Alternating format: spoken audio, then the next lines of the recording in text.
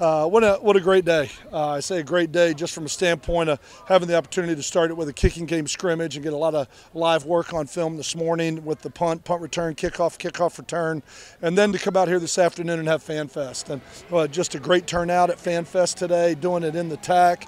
Uh, I thought it was a great turnout. A number of sports were there. The people were enthusiastic, and I think it was a lot of fun for our players to have the opportunity to interact with so many of the fans that were there, uh, getting autographs and everything. And then to come out here. We got a 96 play scrimmage tonight.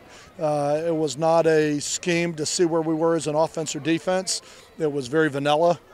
Uh, what it was was really a, uh, trying to get an evaluation of where we are personnel. And this was a, our first scrimmage is always a personnel scrimmage.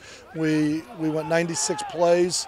Our ones probably got anywhere from 8 to 15 plays predicated on who they were and how much football they played because we don't need to evaluate the Xavier Woods. I said before I want to get those guys just as much, just enough work to make sure that they can knock the rust off. Uh, they needed some live work with some tackling, but I don't need to get them out here and play them a bunch of plays. And we've got to make some decisions. Off this film, we've got to start to cut the roster to 70 uh, for travel, that who we're going to play with. We've got to start making some decisions, who we're going to redshirt, who we're going to play, uh, and where we are. And then we got to start putting this team together with the 70. They're going to be part of the travel squad. So uh, we came out of this, this scrimmage injury free right now. Nobody was on the ground. I'm sure we'll have bumps and bruises, and the training room will be full tomorrow. Uh, but for tonight, no serious injuries. And so I, I felt like it was a really a productive day with what we were trying to get done.